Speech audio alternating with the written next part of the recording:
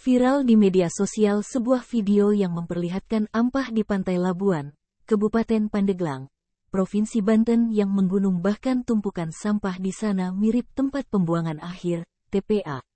Pantai itu berada di Desa Teluk, Kecamatan Labuan, Kabupaten Pandeglang, Provinsi Banten.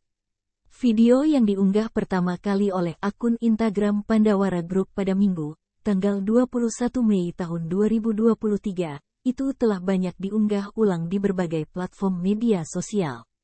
Terbaru, unggahan pantai terburuk dan terkotor nomor satu di Indonesia itu telah direpost oleh akun mistuit at Healwebs dan sudah dibagikan 4.854 kali.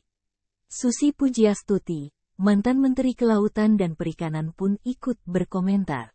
Kemudian video berdurasi 1 menit 2 detik itu menampilkan beberapa sudut pantai Labuan yang kondisinya sangat memprihatinkan. Sampah tampak tersebar di mana-mana. Bahkan, mirip tempat TPA sampah yang ada di daerah-daerah. Ada banyak tumpukan sampah yang menggunung bahkan sudah banyak yang tertanam di pasir pantai. Mirisnya lagi, sampah-sampah kecil juga banyak mengambang di bibir pantai. Saat dilihat lebih dekat, sampah-sampah tersebut terdiri dari sampah kain, boneka, plastik, jaring hingga sampah rumah tangga. Beberapa hewan seperti kambing terlihat mencari makan dari tumpukan sampah tersebut.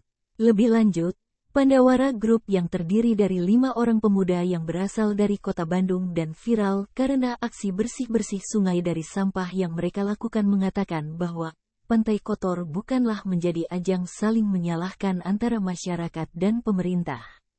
Melihat pantai sekotor itu, Susi pun ikut berkomentar. Terbaru, melalui akun Instagram Pandawara Group, mereka mengatakan untuk membersihkan pantai Labuan itu membutuhkan alat berat. Mereka juga mengajak masyarakat untuk beramai-ramai membersihkan pantai Labuan. Terima kasih sudah nonton.